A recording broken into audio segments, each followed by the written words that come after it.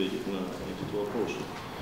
Луганская область очень сложный регион, очень сложный. И даже вот в этом регионе нет единого как бы полиса. Все люди имеют разные мнения по этому вопросу. Если северные э, районы области в основном э, патриотично настроенные граждане, то юг, там где копанки, шахты, где основная промышленная зона, то там как раз наоборот. Кроме того, близость э, государственной границы позволяет казачкам, в Российской Федерации, приезжать, проводить там свою работу. Что они и делают с успехом. Делали до, делали во время будут делать дальше. Вот в связи с этим-то и необходимо, необходимо нам перекрывать границу, но и это не самое главное.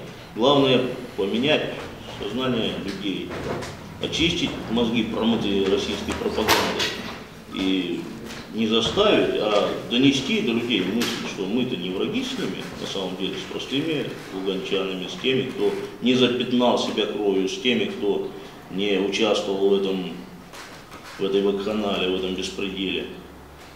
Большинство жителей на данный момент в городе Луганске против того, что происходит в их городе.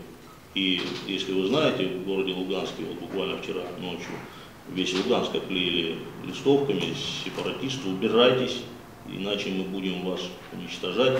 И подписано русскоязычные жители Луганска.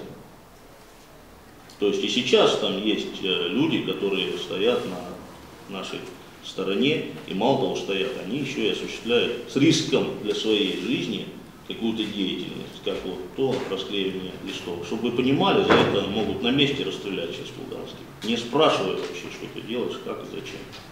Ну, вот это, вот эти действия жителей Луганска, вот, в частности, то есть это э, действия за Украину или против вот, вот этой вот э, войны?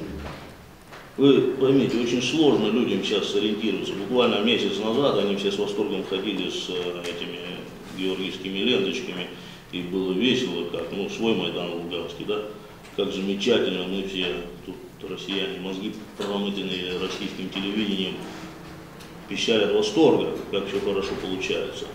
Очень быстро этот восторг сменился полным отрицанием. Почему? Потому что в городе начались грабежи, мародерство, беспредел. Ну, это закономерно, мы понимаем, если на руках оружие, если больше половины стволов из СБУ в неизвестном направлении, и сами сепаратисты не знают, где они находятся на данный момент, то, скорее всего, это оружие находится в бандах мародеров, грабителей и просто там людей, решающих свои проблемы за счет вот этой ситуации. Естественно, это пугает людей, естественно, это людей отталкивает, и, естественно, люди выражают свою позицию, вот, даже расклеивая подобного рода листовки. В станице Луганской, там было основное гнездо у нас было сепараторов. Когда вертолеты начали работать по ним, жители вышли на блокпост и выгнали сепаратистов оттуда. Сказали, уходите, пока вас не было, нас не бомбили. Вот и все. Выгнали без оружия местные жители, вооруженную банду с блокпоста.